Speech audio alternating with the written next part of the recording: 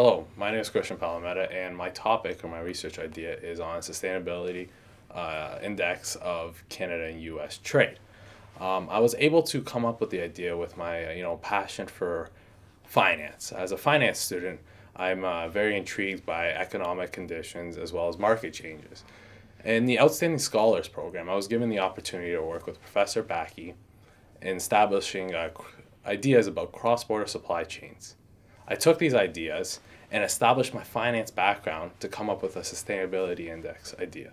So some of the finance part of it, uh, recently we've seen two economic changes to the Canadian economy. One being the price of the Canadian dollar. Secondly, being the slump price of oil. Now, as we may know, oil is very important for exporting to the US and Canada, and it contributes to high employment rates in Alberta. So this is one of the examples that really, you know, triggered me to do this idea and understand how we can sustainably keep these index these industries in Canada. So I think the, the importance of the research is really coming down to many factors. Um, Canada and U.S. trade has topped over almost six hundred billion dollars, both imports and exports, being the largest trading partner in the in the world. Secondly, we look at many industries that depend on the United States as well as Canada for their products, such as the automotive industry and the energy industry. So I have act- I have created a um, a hierarchical um, analytical hierarchical process, which basically is a matrix in comparing the industries to each other on a developed criteria. The criteria was made to understand how sustainable certain industries as well as products are when different economic changes occur. And then I use the same type of formatting for my criteria. I did a I compared them, rated them 1 to 9 to see if one was strong versus not strong when they're compared to each other. And this determined my weightings.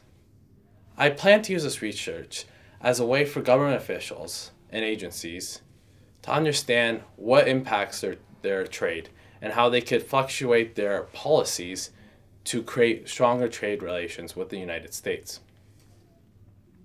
We look at oil, for example, and say, can the government increase royalties or do they have to decrease oil royalties when products, uh, crude prices change? So I think this is where the research comes in handy for these uh, people. So I narrowed down to three main factors financial, social, and environmental. If an industry can withstand those three factors, it becomes a strong product. It becomes a product that can maintain its its capacity in its a tradability in Canada and the United States. To conclude, I like to say that the Outstanding Scholars Program, as well as my interest, have really you know brought this idea together and the plans are to get it published in a journal article within the next year or so. Thank you.